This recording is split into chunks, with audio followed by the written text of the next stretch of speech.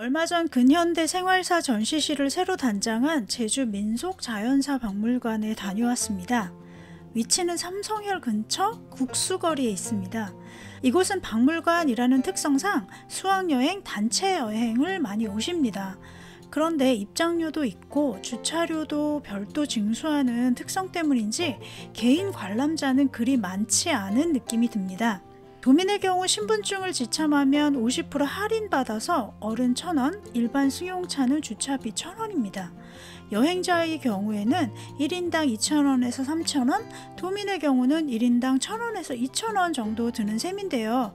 그 이상의 흥미로운 볼거리가 많고 교육적이기 때문에 저는 추천하는 여행지입니다. 제주 민속자연사박물관은 크게 외부 전시실과 본관 그리고 제주 바다 전시관 특별 전시실이 있습니다. 외부 전시실부터 볼거리가 아주 많은데요. 제주 여행을 하다 보면 동네에서 많이 볼 수 있는 방사탑이라든가 무덤가의 동자석 그리고 수많은 화산탄을 볼 수 있고요. 제주의 가옥 구조도 살펴볼 수 있습니다. 제주 건축에서 모티브가 되곤 하는 눌도 볼 수 있는데요. 추수한 후 농작물을 단으로 묶어 쌓아둔 것을 말하는 것인데요. 제주 초가에서 볼 수 있는 독특한 모습입니다. 그리고 아이들이 가장 재미있어하는 똥돼지 화장실도 실감나게 재현해 놓았습니다. 이유는 모르겠지만 이스터 섬의 상징적인 성물인 모아이상도 있고요. 이탈리아 돌의 영혼 작품도 있습니다. 아마도 돌을 모티브한 어떤 교류가 있었던 것 같습니다. 본관으로 들어가면 오른쪽에 실감 영상 스크린이 있어서 잠시 앉아서 제주에 대한 영상을 보고 본격적으로 전시실을 둘러보면 좋겠습니다. 자연사 전시실 들어가기 전에 커다란 고래뼈가 있습니다. 이거 공룡뼈 아니에요. 대형 고래뼈는 바다 전시관에서도 또 볼 수 있습니다. 자연사 전시관에서는 제주 땅의 태생, 제주의 독특한 지형, 자연 환경, 동식물, 바다에 대한 전시를 볼 수 있습니다.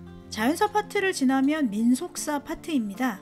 한 사람의 탄생에서 죽음까지의 일대기를 생활사와 연결해 풀어놓은 파트도 재미있고요. 해녀, 목축, 음식, 주거, 농사, 어업, 종교 등 어떻게 옛날 제주 사람들이 자연에 순응하고 활용하기도 하면서 살아왔는지 자세히 들여다볼 수 있습니다. 여기 제주 전통 음식 상차림이 다양하게 전시되어 있는데 차례상이니 낭품 밥상이니 그리고 다양한 제주만의 음식들도 모형으로 확인할 수 있습니다. 근현대 생활사 전시실인데요. 이거 보러 왔어요. 성환 이야기. 아, 제주도 성 안 사람들은 되게 자부심이 있었다고 하죠. 한나 술록도랑 뭐 이런 거 없었으면 어쩔 뻔했어. 이렇게 그림으로 이렇게 남겨놓은 거는 진짜 잘한 것 같아.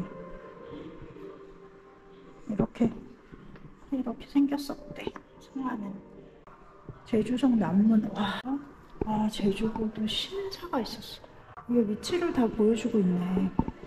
남덕정 주변 제주 세무서 지금도 있나? 제주 도청 제주 전매지구 정실 상점 뭔가 좀 있어 보인다. 브랜드는 브랜드. 입구에는 일제가 들어오면서 조성된 근대 건축물, 시설물들이 지도와 사진으로 소개되어 있었고 본격적인 전시는 근현대사 거리를 축소해서 만들어 놓았더라고요. 음, 문화와 낭만의 중심이지 칠성통. 그렇지 제주의 명동 칠성통. 산사회 이게 지금 다 있었나 봐 이렇게. 호랑이빵. 아, 뉴욕 아, 다과점. 계산상에 이렇게 사진 있네 잡화점 다이소네 다이소. 그리고 연금 라사 아, 멋쟁이들. 와 넥타이 봐 장난 아니야. 모나미 영정 아 이름 너무 귀여워 모나미 볼펜이 아닙니다. 숙녀들의 공간 몽아미 시공사. 아니 시공사는 책방이 아니었어. 문방이었어. 옥림장. 아 지금도 있죠. 제이도 호텔. 여기가 지금 제이도 호텔로 도시 재생으로 해가지고 리뉴얼 했거든요 백화점이 있었어? 제주도가? 아, 제주에도 백화점이 있었구나. 헉, 산울림이 여기 들어올 일이구나. 이제 산울림 김창원 아저씨. 가격 표시 모범 시장이래. 아, 너무 재밌다. 보니까 악기, 전자제품 시계 이런 걸 주로 많이 팔았네. 가방에 되게 문인들 이런 사람들이 많이 모였다고 하죠. 유럽의 살롱 문화하고 좀 비슷한 거지. 제주 최초의 다방은 1930년대 일제 강점기에 일본인이 만든 카페 긴스이였고요. 해방 이후로 1947년에 칠성 다방이 개업을 합니다. 1950년 6.25 전쟁이 터지면서 정부의 고위 관리나 학자, 문인, 예술가들이 제주로 피난을 왔고요. 이들이 동문시장, 관덕로, 칠성로 근처에 모여 살면서 칠성로가 더 번화하게 되는데 이때 다방도 형성되기 시작합니다. 그렇게 1950년대부터 1980년대까지 다방이 문화의 중심이 되었는데요. 교류하고 전시회나 강연, 음악회 등을 했던 그야말로 복합 문화공간 역할을 했습니다. 1960년대까지는 문인과 지식인 중심의 예술 공간이었다면 7, 80년대는 젊은이들이 음악을 듣는 문화 공간 역할을 했습니다. 아, 와 이거 너무 예쁘다 하루. 요즘 이거는 요즘 나와도 너무 예쁘겠다. 보세요. 아 그리고 벽장. 로버트 태권브이 바람감기 사라지자 진짜 진짜 잊지 마. 일반 3,000원? 80년대 70년대인가 봐. 대한뉴스. 성명을 되게 꼼꼼하게 해놨다. 아, 공공기관들이 성 안에 있다가 다 바깥으로 이전을 했구나. 2,000원. 지금도 있나? 이거? 궁금한데? 두마. 정사. 한문이야, 심지어. 대박.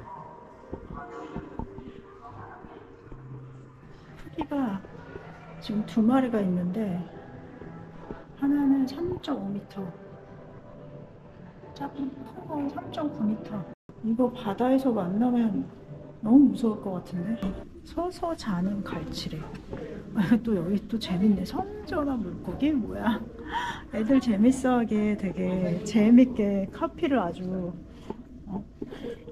자극적으로 뽑아놨네 아 이거 재밌다. 재밌게 해놨다. 이야 하는 과정도 잘 나와 있다. 얘 고래 이름은 브라이드 고래래요. 아, 너무 재밌는데 여기? 그냥 지나가려고 그랬는데. 제주 바다에 살고 있는 고래들. 고래 머리뼈. 대박. 으악